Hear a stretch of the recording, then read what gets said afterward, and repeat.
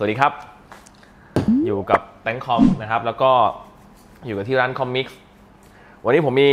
เคสอยู่ตัวหนึ่งที่เป็นรุ่นใหม่นะครับ ที่กำลังจะวางจำหน่ายในบ้านเราแล้วก็คอมมิกส์นะครับผมก็สั่งมาขายด้วย แล้วก็แน่ใจแล้วก็ค่อนข้างมั่นใจว่าคอมมิกขายเป็นหลักนะครับสำหรับตัวนี้ตัวที่หลาย ๆ คนรอคอย จาก Cooler Master ที่เป็นเคสไซส์ Mini ITX อยู่ตรงหน้าเราแล้วนะครับ ตัวนี้คือ Cooler Master Master Box NR 200P รหัสนี้เลย ซึ่ง NR 200P จะทำออกมาทั้งหมด 2 สีด้วยกันครับ คือสีนี้สีขาว ผมไม่รู้ว่าณวันนี้ในเมืองไทยมีใครมีสีขาวหรือยังนะครับ แต่ที่เห็นผ่านๆตาส่วนใหญ่จะหิ้วกันเข้ามาก็คือจะเป็นสีดำก็คือจะมี 2 สีนะครับ มีขาวแบบนี้และเป็นสีดำสีดำเราคงไม่ต้องพูดถึงดำก็คือดำนะฮะ จะเป็นพื้นผิวที่เป็นดำแบบไม่เงา จะเป็นแมตต์ไหมเป็นด้านไหมก็ไม่ถึงขนาดนั้น มันจะออกแนวแบบ เป็นดำแบบนวลๆอะเมทัลลิกก็ไม่เชิง ไม่เงาแล้วก็ไม่ด้านนะครับ เช่นเดียวกันกับสีขาวเป็นพื้นผิววัสดุอารมณ์เดียวกัน เป็นขาวมันๆเออมันๆดำมันๆใช่ดำมันๆขาวมันๆอันนี้จะเป็นขาวแบบไม่อมเหลือง ผิวลื่นแต่ไม่ด้าน ผิวลื่นแต่ไม่ด้าน ผิวด้าน แต่ไม่ลื่นไม่ใช่ ถูกแล้วผิวลื่นแต่ไม่ด้าน แต่ไม่เงาด้วย มันมันไม่กลอสนะครับ ทีนี้ความขาวของมันจะเป็นขาวแบบขาวปกติ แล้วก็ไม่ขาวโพลนอมฟ้า แล้วก็ไม่ขาวแบบขาวมุกอะไรไม่ใช่เป็นขาวปกติเลย ข้อดีของ NR 200P คือ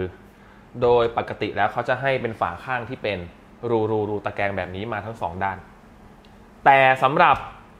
NR 200P นะครับ และรุ่นที่เข้ามาขายในเมืองไทยนี้ จะมีแถมมาอีกหนึ่งกล่องเล็กๆ อยู่ในกล่องใหญ่นั้นนะครับ ก็คือตัว Temper Glass Panel ผมเปิดให้ดู Temper Glass Panel ก่อนเลยฮะ มันก็คือฝาข้างที่เป็นกระดก กระจกให้มาหนึ่งบาน ซึ่งการเปลี่ยน swap ก็คือแค่เปลี่ยนจากฝาเดิมมาเป็นฝากระจกแบบนี้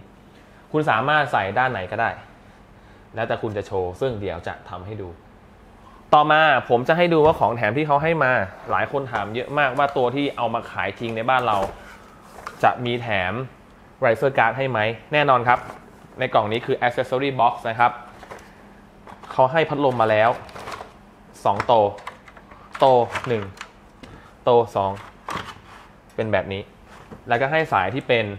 3 ไป 1 มาให้ด้วยสำหรับ PWM นะฮะแต่มันจะวัดรอบได้แค่พัดลมตัวเดียวนะนะครับเป็นแบบนี้อ่าโอเค ให้มาด้วยพัดลม 2 ตัวคุณจะติดล่างติดบนแล้วแต่ แล้วแต่การใช้งานเขาให้น็อตเป็นหมวดไว้ติดข้างบนมานะพี่เออ นี่ เป็นแบบนี้ เกี่ยวได้เลย ใช่ไหมเกี่ยวกับพาแนลมันได้เลย กดได้เลยอะเดี๋ยวทำให้ดูให้มาแล้ว 2 ตัวนะครับพัดลมนะครับ เสร็จปุ๊บ อันนี้อะวางไว้ สิ่งที่ทุกคนถามหาก็คือ Razer Guard นี่ ให้มาเลยโดยที่ไม่ต้องไปหาซื้อใหม่แล้วก็งานดีด้วย เดี๋ยวแกะให้ดูปึ๊บไม่มีรอยฉีกมาให้ว่ะ ใช่ไหม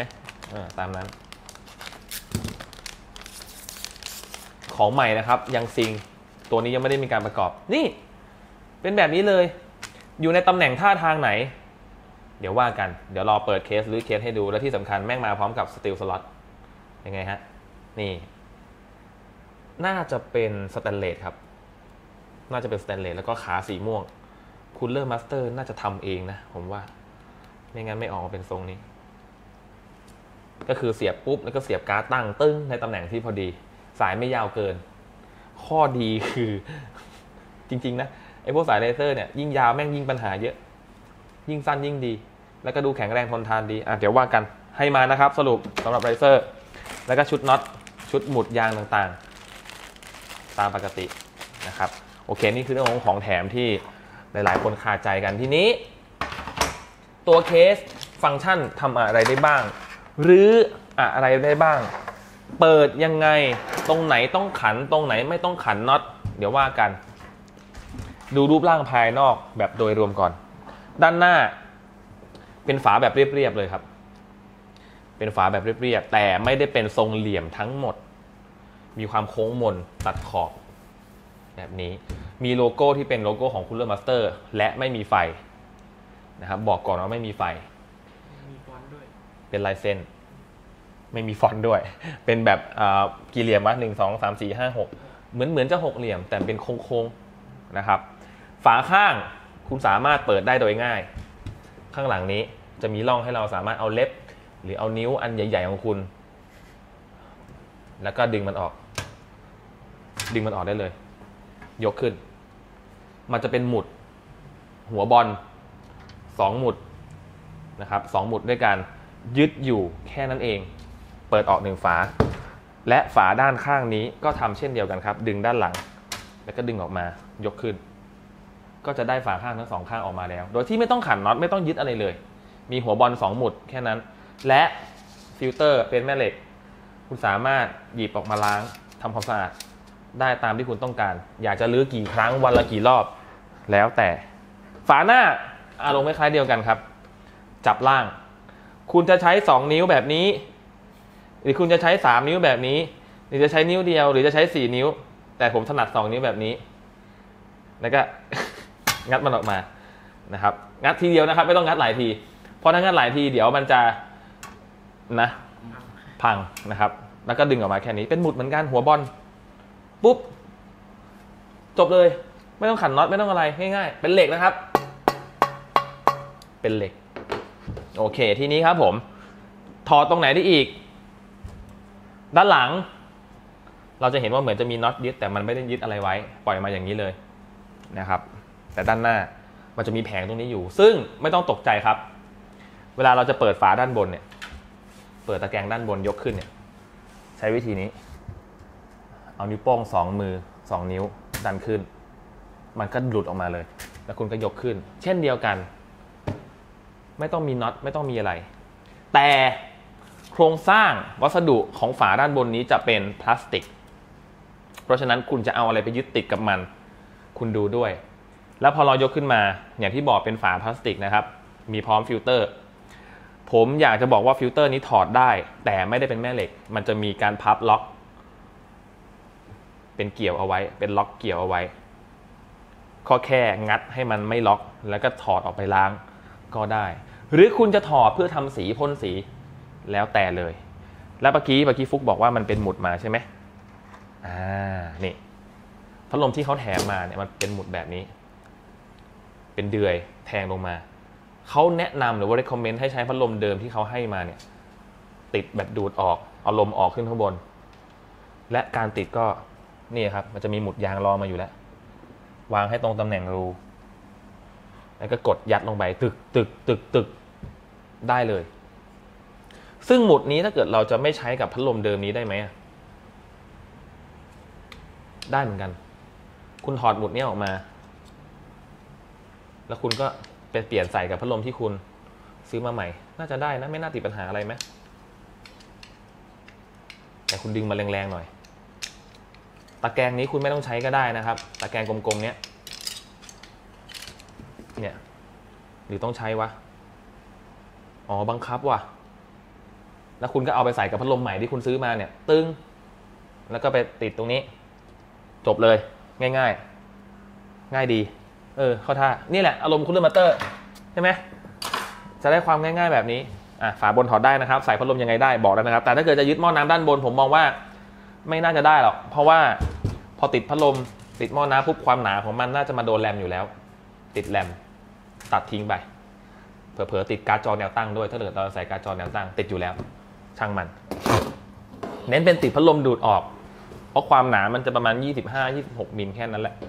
นะครับ ช่องว่าง โอเค เราถอดออกมาแล้วโครงสร้าง เห็นเป็นแบบนี้ แน่นอนครับ เหล็กทุกชิ้น ไม่มีชิ้นส่วนไหนที่เป็นอลูมิเนียม เพราะถ้าเป็นอลูมิเนียม ราคาคุณไม่ได้เท่านี้แน่นอน ราคาเท่าไหร่เดี๋ยวผมบอกท้ายคลิป เสร็จปุ๊บ ถอดได้อีกฮะ เอาตำแหน่งด้านนี้ก่อน อันนี้คือด้านหน้านะครับ มองเข้ามาฝาข้างด้านนี้ โซนนี้ คือตำแหน่งที่สามารถถอดได้ ผมขออนุญาตวางนอน ถอดโดยการขานสกรูสองตัว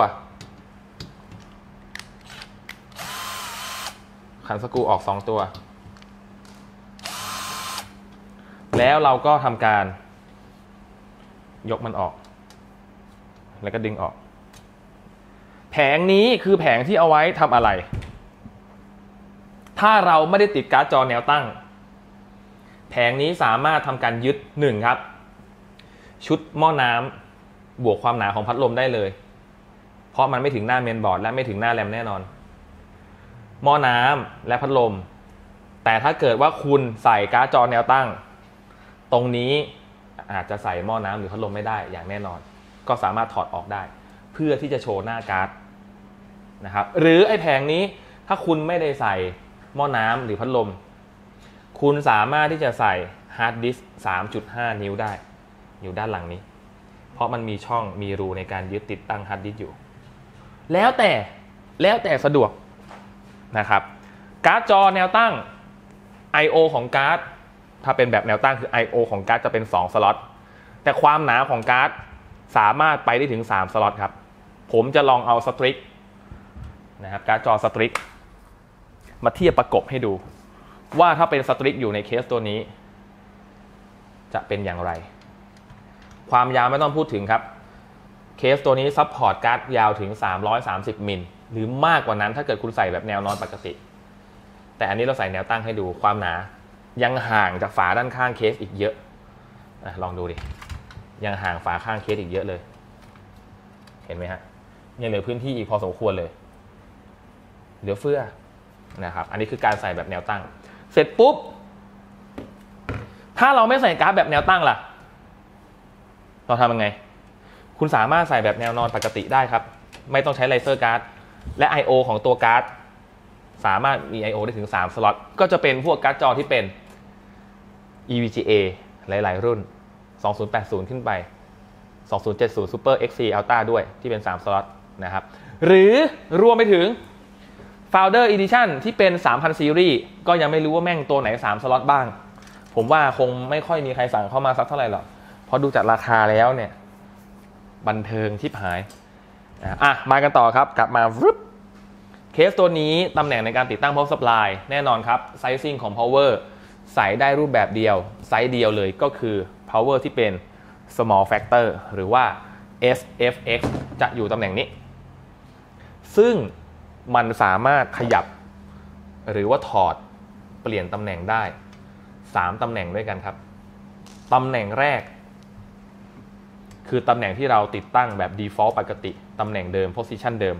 ไม่มีการขยับขยายย้ายไปไหนทั้งสิ้นนะฮะ สายต่อสาย AC เพิ่มความยาวเขาให้มาแล้วนะครับเราเอา AC ปกติเสียบด้านหลัง เสียบด้านหลังนี้ สายก็จะไล่วื้อเลาะเลาะเลาะเลาะรัดสายเคเบิลไทยมาให้ แล้วคุณก็ใช้หัวนี้ เสียบในตำแหน่งของ power ของคุณ ก็ดูเอาว่าสายหัว AC ของเราของ power นั้นมันอยู่ตรงไหน อันนี้คือตำแหน่งปกตินะครับ แต่ถ้าเกิดขยับนิดนึง ขยับตัวนี้ขึ้น เห็นไหมฮะ หูล็อกมันมี 2ตำแหน่ง มันมี 2ตำแหน่ง อันนี้แบบปกติหูนี้ กับหูบน เพื่ออะไรครับ เพราะถ้าเกิดว่าคุณไม่ขยับ คุณไว้ตำแหน่งเดิมเลย ถ้าเราใส่การ์ดจอแบบแนวนอนปกติ สิ่งที่เราจะเจอคือ ตัวนี้ครับ การ์ดจะอยู่ในตำแหน่งประมาณนี้นะครับ ถ้าเกิดเราอยู่ในตำแหน่งนี้เลยเห็นไหมฮะการ์ดจอแบบนี้นะครับ ติดตั้งแนวนอนปกติปุ๊บมีหม้อน้ำอยู่ตรงนี้ คุณจะเจอปัญหากับหัวของพวก supply ที่มันอาจจะตรงเนี้ยพอหัวมันใหญ่ปุ๊บ สายมันจะหักงอไม่พ้น คุณก็สามารถที่จะถอด power ตัวเอ่อถอดเทของ power ปุ๊บ มาเกี่ยวหูบนแล้วก็ยึดตำตำแหน่งปกติได้ แล้วก็เพิ่มความกว้างช่วงนี้ได้ หัวสายที่เสียบกับ power ก็จะกว้างขึ้นตำแหน่งตรงนี้ แต่แต่นะครับ ถ้าเกิดคุณใส่การ์ดไม่ได้ยาวมาก นะครับหรือเป็นการ์ดตัวสั้นๆ คุณสามารถขยับตำแหน่งของที่ติด power supply ได้ อันนี้สายเคเบิลอ่าไม่ใช่ cable tie ตีนตุ๊กแกเขาให้มาเพื่อเก็บสาย คุณสามารถขยับจากตำแหน่งปกติได้1นะฮะอันนี้1เหยียบขึ้นบน 2 หรือมาไว้ด้านหน้าแบบนี้ได้ ด้านหน้ามีตำแหน่งเดียวครับ ไม่สามารถขยับขึ้นลงได้ ทั้งนี้ทั้งนั้นอยู่ที่การ์ดจอคุณว่ายาวแค่ไหน อยู่ที่ว่าคุณติดตั้งการ์ดแนวนอนหรือแนวตั้ง ถ้าเอา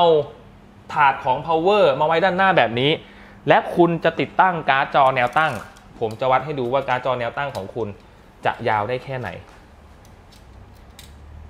ยี่สิบหก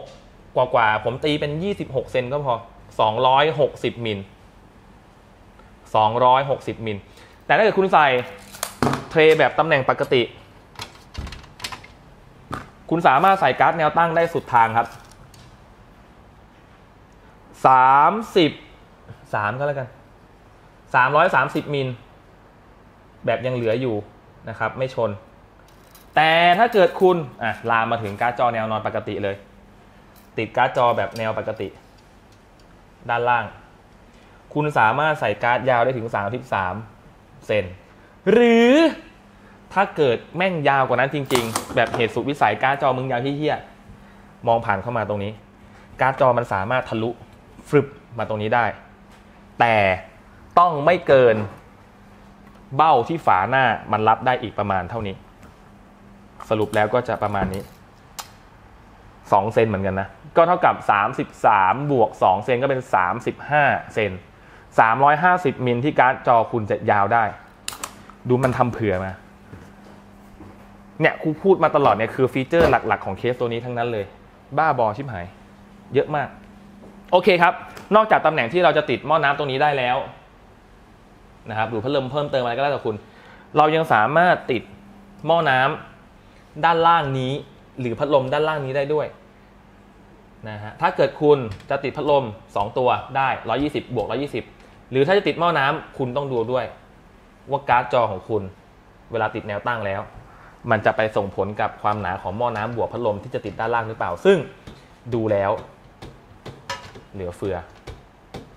ต่อให้ตรงนี้มีสายไลเซอร์เสียบตึ้ง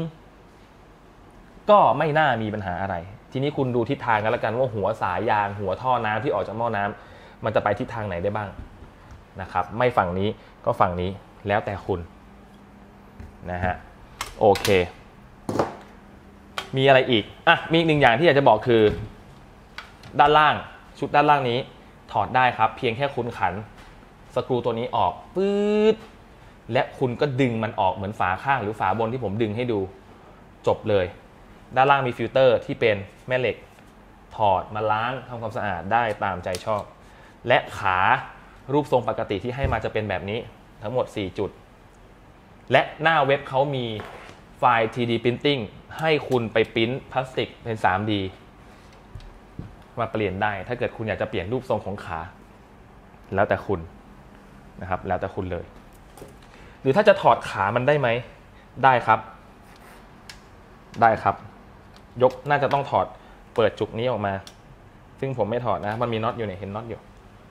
ถอดได้เอาแล้วแต่สะดวกเลยนะครับ แล้วแต่ชอบเลยแล้วกัน ก็ประมาณนี้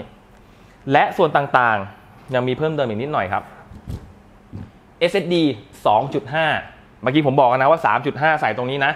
ไอแผงที่เป็นหม้อน้ำในกรณีที่คุณไม่ได้ใส่หม้อน้ำคุณสามารถติดตรงนี้ได้หนึ่งตัว แต่ตรงอื่นล่ะ นี่แหละไอตัวที่ยึด power นี่แหละ คุณสามารถใส่ SSD 2.5 นิ้วตรงนี้ก็ได้ หรือ 3.5 นิ้วตรงนี้ก็ได้นะครับ ซึ่งผมลองแล้วเมื่อกี้ลองวัดตำแหน่งแล้ว ถ้าเกิดอยู่ในตำแหน่งนี้ แล้วคุณจะใส่การ์ดจอแนวตั้ง ความหนาของฮาร์ดดิสยังถือว่าไม่เป็น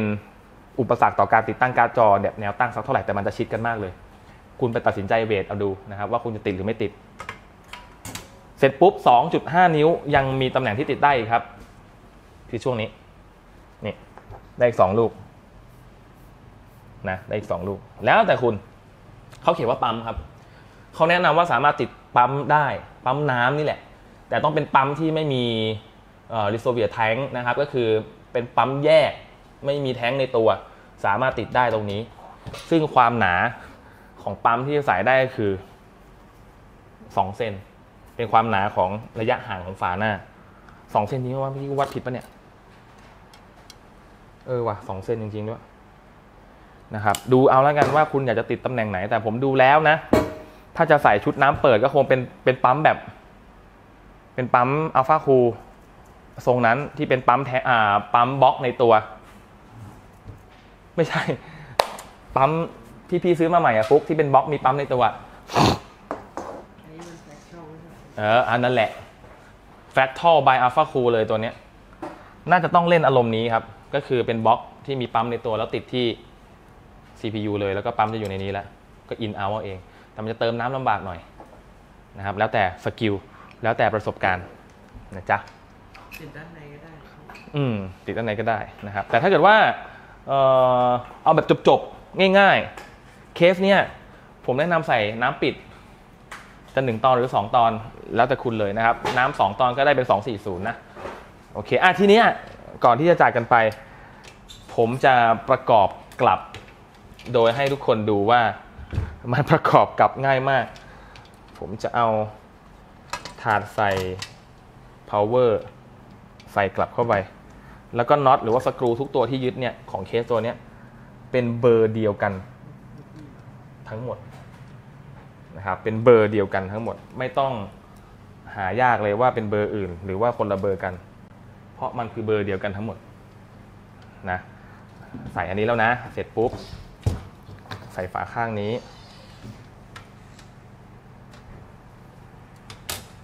ใส่ฝาข้างนี้ ผมชอบตรงที่ว่าหลาย ๆ ชิ้นหรือว่าเกือบทุกชิ้นเลยเนี่ยมันสามารถที่จะถอดออกจากกันได้ พอถอดออกจากกันเสร็จปุ๊บ คุณสามารถที่จะเอาแต่ละชิ้นส่วน ถอดไปทำสีที่คุณต้องการได้เลยครับ ง่าย ๆ เลยนะอะผมใส่นี้ปิดนะ ปิดนี้ ปุ๊บ ฝาล่าง อะโทษทีฮะฝาหน้า ดันกลับดันกลับนะครับ ฝาบน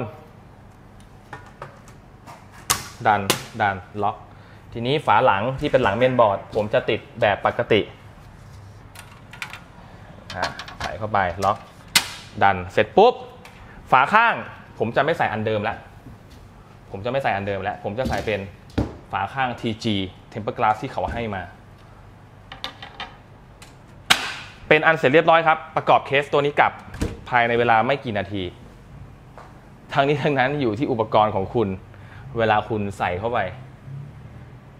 ว่าคุณจะใส่ยากใส่ง่าย ใส่มากใส่น้อย แล้วแต่คุณ ทั้งสองสีในล็อตแรกนี้นะครับ จะมีอยู่แค่จำนวนหนึ่งไม่เยอะมาก ไม่เยอะมาก เพราะฉะนั้นรีบซื้อรีบสั่งจองกันซะ ไม่ได้สั่งจองคือของมาปุ๊บ เดี๋ยวผมจะโพสต์หน้าเพจคอมิก